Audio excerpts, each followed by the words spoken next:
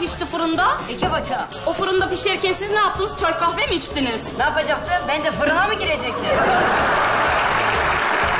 Adınız nedir? Nazım Erdoğan. Nazım. Baba. O zaman sen de bizim oğlumuzsun. Ben de edebiyatı çok severim. Gerçekten mi? Evet bakayım. Said Faik'ten Abasıyanık kitabı. Çok Güzel Hareketler 2 yeni bölümüyle pazar akşamı Kanal D'de.